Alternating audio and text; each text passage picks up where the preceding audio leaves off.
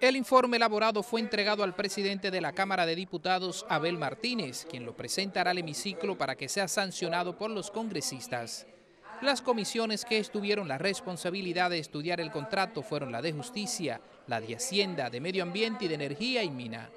Se habla que los comisionados detectaron serias irregularidades en el contrato suscrito por el Estado Dominicano y la empresa minera canadiense. Que se sepa que de manera firme y decidida desde el Congreso Nacional tenemos los elementos jurídicos suficientes para poder invalidar este contrato.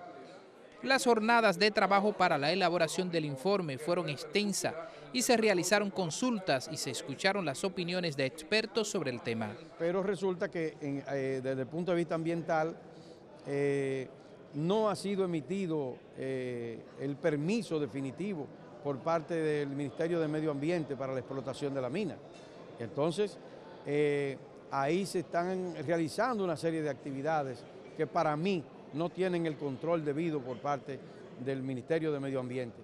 Luego de que ese informe sea conocido por los diputados, se elaborará una resolución que entonces enviarán al presidente Danilo Medina.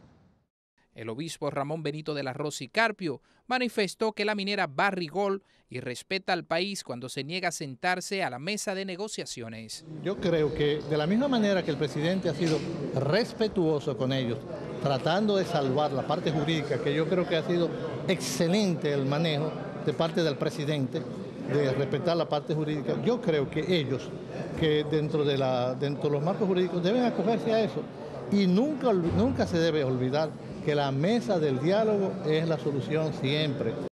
Ernesto Trinidad, Informativos Teleantillas.